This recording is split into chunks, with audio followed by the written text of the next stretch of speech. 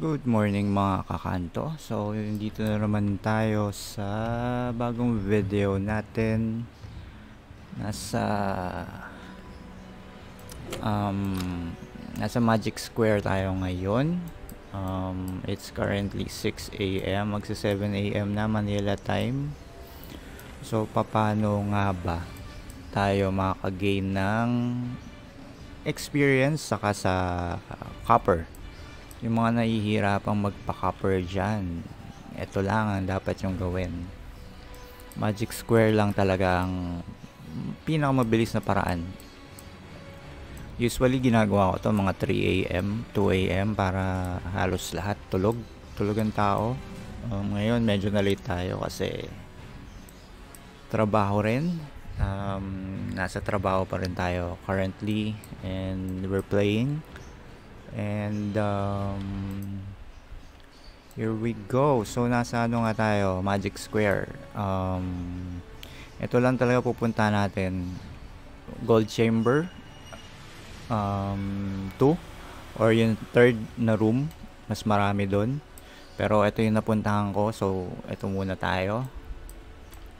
I use up my tickets na currently. So inaantay ko ngayon mag-spawn yung um, yung tatay at nanay nila ng mga goblins na to. Pero pwede na natin simulan ulit. Kasi kanina pa ako nandito. Second ticket ko na to. So currently um, nasa 100 plus lang to kanina. So nagamit ko na yung 30 minutes. So currently around 38 minutes na tayo nandito sa gold chamber and I was able to produce na almost um, 500 so merong isa dito na nag um, antayin natin siyang matapos muna. So mostly kasi lahat ng nagpapa-copper dito nagpupunta So, ang gagawin lang natin is ilure yung mga goblins. So, hanap tayo ng isang way. Um, ito. Mukhang ano to.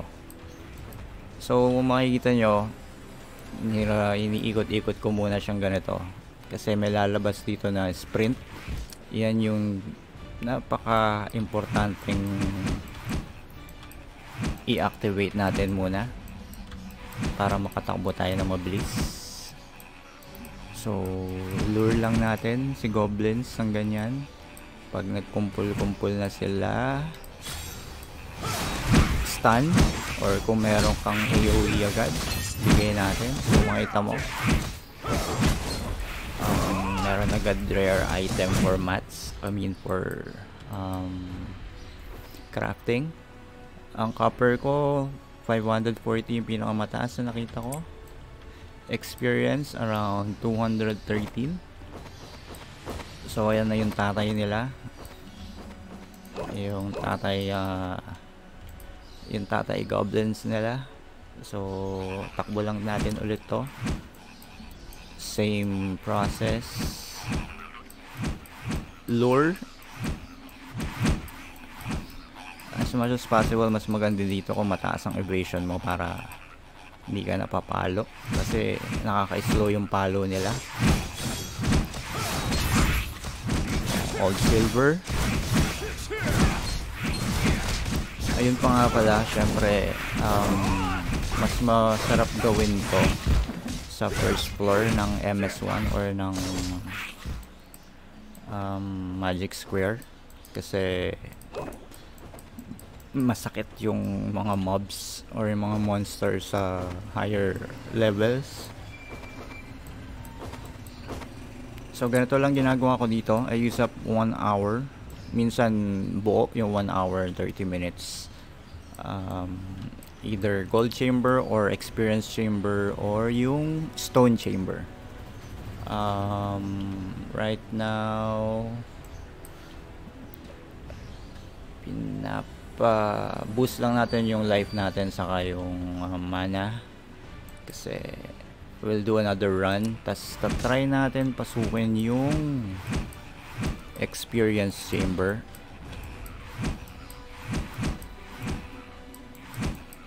Actually dito maganda na kasi ano, um, copper experience in one na. Makakuha ka na rin ng mats.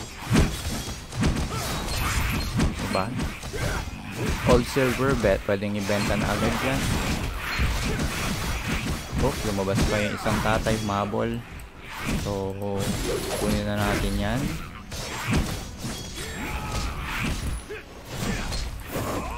O, oh, diba? Silipin natin yung kabila, baka buhay pa lahat. And successfully, buhay pa sila. Solo natin yung um, gold chamber at this moment. Wala tayong kaagaw. So, mas maganda yung ganito, yung solo natin yung gold chamber. Kasi, pwede natin ikutin yung tatlong room. Um, tulad nito, yan. Andyan na yung mga tatay. Mas masarap to swerte natin sa video kasi nakapag-respond nakapag-respond ng sabay-sabay yung yung tatay nila so tingnan natin kung ano bibigay. All silver roulette makita mo dito lucky. So I gained um, some materials or mats for crafting. Not bad di ba? Kasi, um, for me ah, kung ako tatanungin nyo kasi mas maganda dito sa MS na ito ang gawin, experience, and gold, I mean in copper. Kesa yung punta ka ng dark steel mine, well, nasa nasa priorities nyo naman yan kung anong mas gusto nyo. Kasi ang priorities natin um, to be strong, magpalakas at uh, to support the community, yung mga bata ko dito sa clan. Um, and as well as of course to make profit sa DS or sa Dark Steel. Pero as I mentioned, hindi talaga yun ang 100% na priority ko dito. You guys can see my level is and my PS is par at this level. So ganyan lang siya kasi yung um, yung decks ko are for mobs. Pero kung titingnan natin ang ating totoong PS ayan nasa almost 53 na ako Actually, 54 yan. Um, I can show you enough kasi hindi nakaset up yung um, yung spirits natin. Um, so, right now, halos 14 minutes na tayo dito. Kanina, pinakita ko sa inyo kung ilan yung copper ko. It's almost at 600k and um, we've consumed ar around 9 minutes. Running around lang doing this.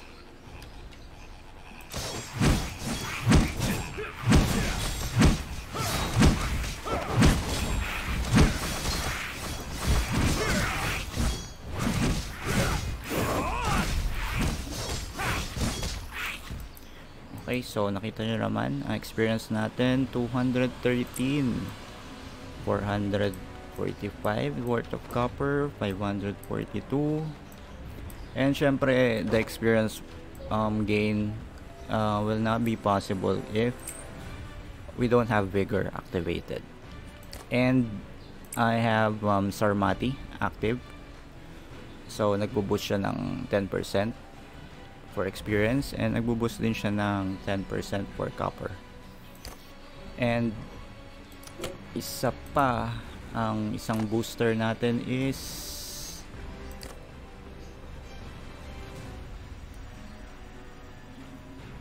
ang isang booster natin is coming from spirits. Um, ito I'm, I'm showing you right now hunting, hunting copper gain boost. Nasa spirits ko yan. Conquest. Yung conquest and codex um, others I'm not sure kung saan tong others na to it may be, it may be um, spirit treasures na inad ko. So, yan. Okay, so mag last run tayo. As I mentioned, ganito lang lagi ang gawin nyo. Um, and uh, by the way, we are on uh, Asia 72.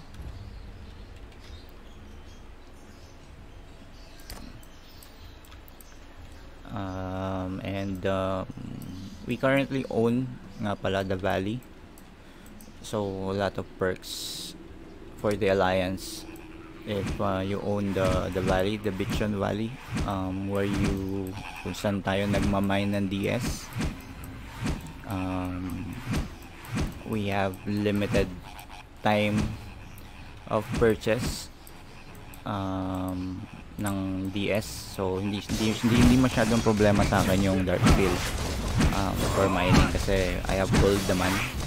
Um, the gold gold I earn from selling um, selling items sa market. So currently currently sa market um, ito lang yung aking naka alay so nabenta na kasi yung iba.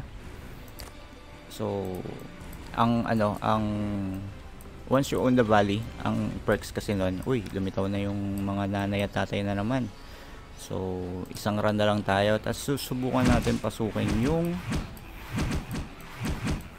um, experience chamber kung saan tayo makakagain ng experience. Close natin to.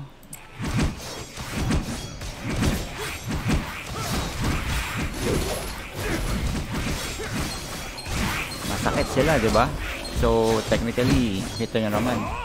Ang level ko is uh, um, at level 49 at yung um, power ko is around 51,000 or 51k masakit siya. Um, so yun try natin pumasok sa ibang ano sa ibang room. As I mentioned um, check din natin yung uh, experience chamber. Tingnan natin kung makapasok tayo. So training chamber um, daming bots dito. Kita nyo naman yan. Yan lahat sila oh. sama-sama. Pero pakita ko na rin sa inyo kung ano nakukuha dito sa training. Um, check lang natin kung meron tayong room na available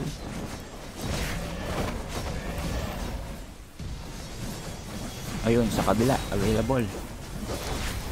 So same din ang gagawin natin. Lure lang natin ay um nga pala sa training kasi hindi siya um hindi active yung mga monster. Kailangan mo sila talagang ilure or i-attack para malure mo sila in one place. Like nang ginagawa ko ngayon medyo mahirap dito kasi masakit din yung mobs um, we have to do this sa mga mobs around the area.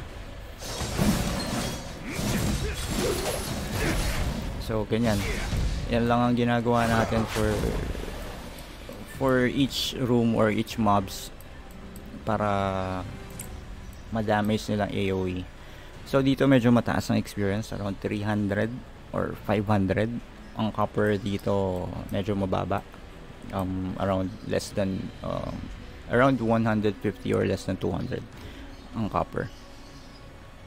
Um, okay. Move on tayo. Ang target natin is yung experience chamber. Um, so patay yung uh, monster dito So, ito yung experience chamber na sinasabi ko. As I mentioned, ang daming bots. Ang dami nila. Kasi, subukan natin kunin to.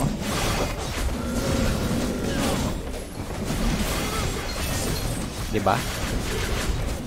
Nakuha pa natin, diba? So, may mats tayo. Um, so yun, ang experience dito is around 800 plus yung boost ko syempre.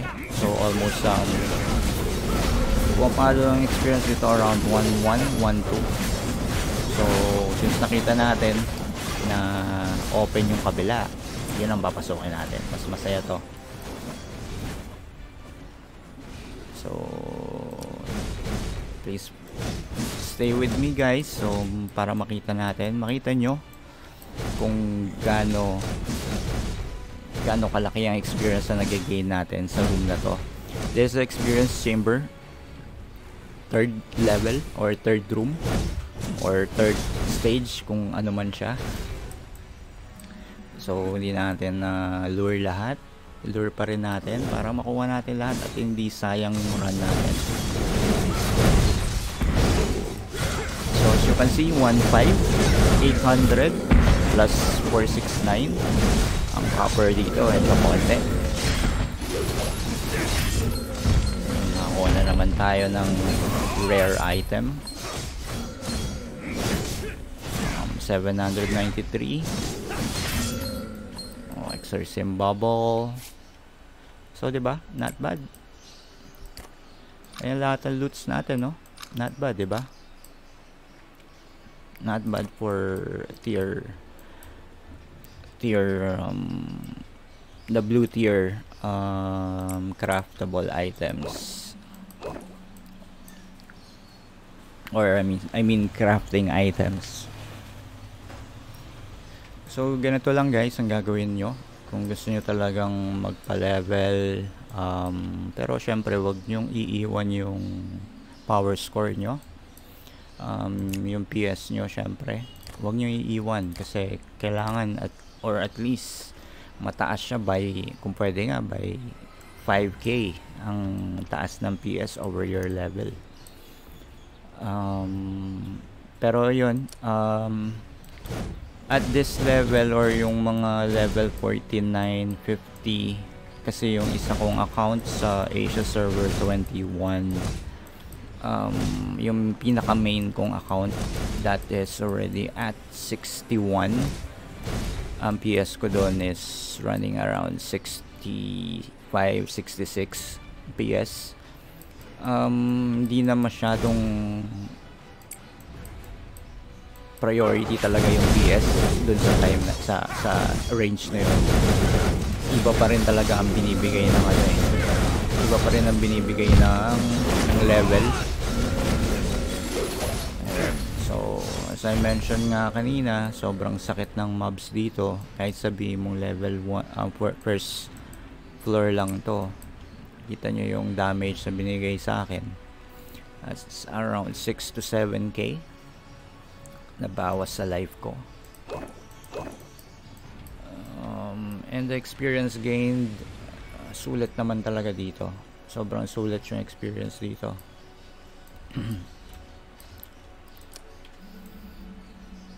So, yun guys, um, last run tayo para makita nyo kung paano ko sila i-lure.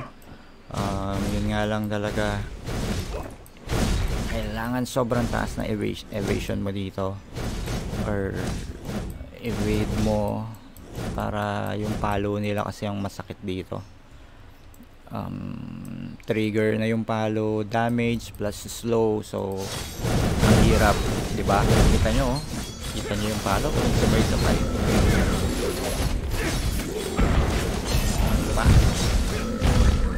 So, experience gain around, yeah, it's fixed naman siya. At 793 plus, syempre yung bonus natin na 4699. So, running around 1-1, 1-2 per mob. Um, diba? So, ganyan lang gawin nyo daily. Um, kung may extra ticket kayo, huwag nyo sayangin i-run siya. Um, yun um, last 4 minutes tayo pero i-extend pa natin. So last last 4 minutes for this video. Let's try to check kung ma-open natin mapuntahan natin yung ibang mga chamber leader's chamber andito yung blade monster na around 55 times 55 ang buhay. Uh, minsan nasosolo ko siya pag pumasok ako dito ng around 2am 3am so basically siguro tulog na most of the our kababayans. So ayun um, ano pa ba? Try natin pasukin yung stone chamber. Sa stone chamber naman um, basically nakakakuha tayo doon ng ng rare magic stone. Lagi yon it's either dalawa or tatlo. Um, white silver chamber ito naman yung goblins na hindi sila active. So mga passive mga passive to. So ang mostly na binibigay dito is silver coin. Copper pa rin syempre. Wala, lagi nila tayo dinidirect sa leader's chamber ah. So, white silver chamber ulit. Um, sayang yung punta natin dito. Banatan na natin. Diba? Nakakuha pa tayo ng mats. Punta natin yung isang tatay nila bago tayo lumipat. Oh, di ba? Told ya. Yan lang gagawin nyo talaga sa eh, sa Magic Square. Kaya don't really I don't really suggest na um mag pagdating ng Magic Square, DS agad ang punta nyo. Well, for um sa mga ano, sa mga levels 30 below or um, 40 below talaga. Um, pwede yun talaga ang puntahan nyo muna. DS kasi mahirap talaga dito dahil sobrang kate ng mobs at yung mga boss. So yun. We are still trying to go sa stone chamber. Um, hopefully sulit tong video sa inyo um, I get to show you what I basically do sa pa-leveling and um, pag nagpupunta ako ng ano ng MS chamber um, as you can see here di ba? Ang dami talagang nagpa-farm dito.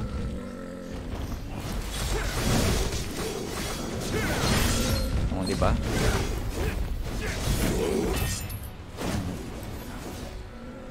Kaya kung tinatanong nyo bakit sobrang dami ko nakukuha na, na rare crafting items um, for for armor, for weapon. Um, mataas kasi yung chance ko. Basic help din ng codex. Um, as you can see. As you can see here yung drop chance natin boost dito around 27%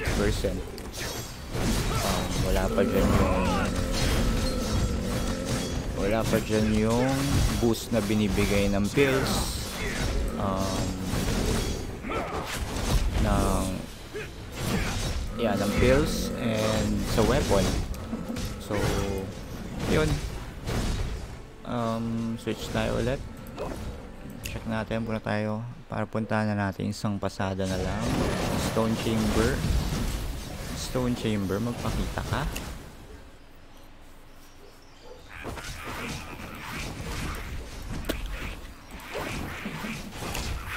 Hirap niyang pasukin no? So dito tayo ulit sa gold chamber. So parang sinasabi niya na boss pag gold ka na lang muna. Mas kailangan natin to. So well meron ditong daddy mama goblin. So tirahin na natin. Tingnan natin kung anong bigay niya. So ganyan lang talaga mag lure para isang bigayan ng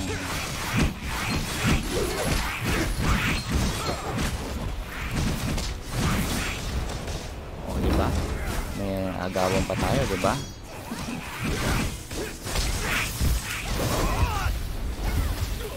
Ah, di ba?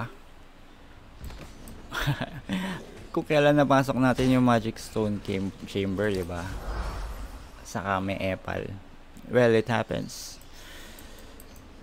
Uh, yan talaga nangyayari pag may biglang sumulpot. Ano pangalan nun? Uh, first Jin Za? What?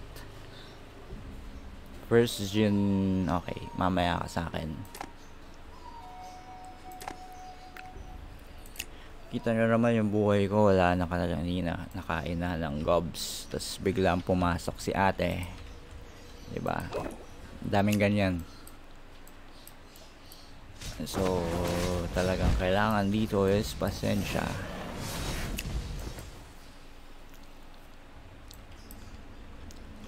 Kung kailan naman tayo nakapasok kanina, 'di ba? Saka Yun, Magic Stone Chamber. So, meron nagpa-farm dito. As usual, mga bots, auto auto send sila ng uh, ng party request. So, ayun. Um, kita nyo naman, slow kada palo. Medyo mas masakit sila pag nagsama-sama. So, kailangan natin i-lure sila in one place.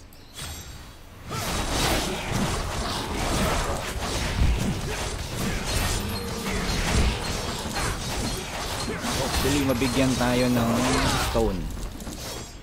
Okay, wala. Wala tayo nakuha rare. Pero, as I mentioned, Magic Stone Chamber to. So, at least sa isang run, meron ka nakukuwang stone. Maganda rin siya pang combine um, if you want to get um, really really rare um, magic stones na merong rare na or attributes or additional attributes para sa pagtaas ng PS mo um, you can also do this isang run ulit tayo para makita natin kung gaano kalaki ang experience. And copper kung meron man experience yan medyo mababa siya talaga. Copper around normal 142 so ayun. So this is the magic stone chamber.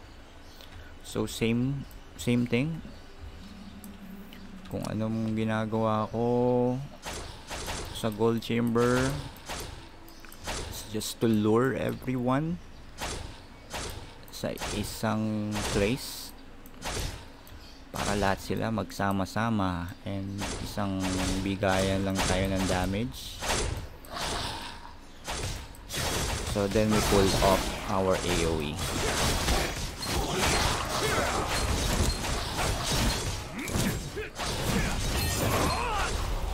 okay so ayun guys um, di tayo nabigyan ng rare na magic stone. So tingnan natin. One last run bago natin end yung video. And um, um, do not forget nga pala like and subscribe for more videos like this. Uh, para syempre matulungan ko din kayo or kung may suggestions kayo just put it in the comments section. Um,